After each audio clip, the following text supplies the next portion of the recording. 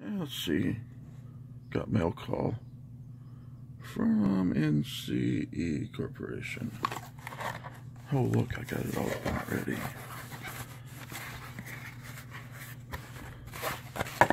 Let's see here.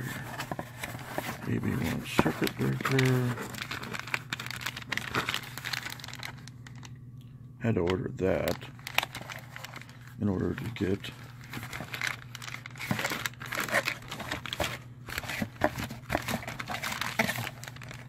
the two pin plug so I can hook up my sounds DCC.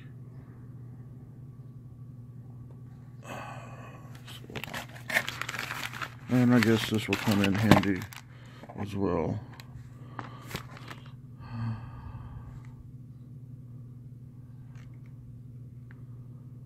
After I get some layout built, I have to put it down, put it someplace.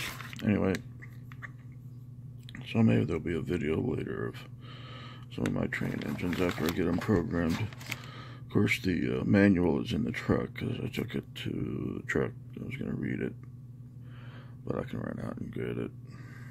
So, there you got it.